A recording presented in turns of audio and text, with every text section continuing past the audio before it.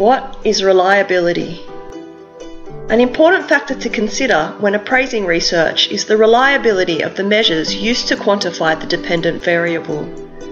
Reliability is the degree to which an assessment tool provides stable and consistent results.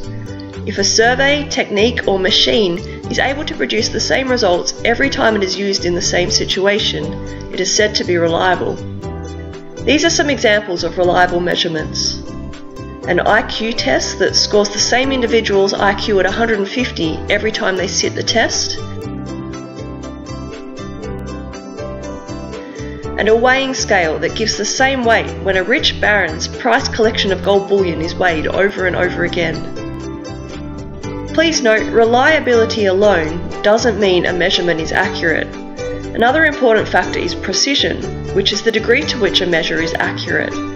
A test can measure the IQ of a person at 150 every time they sit it, but if their IQ is actually 110, the IQ test is reliable but imprecise.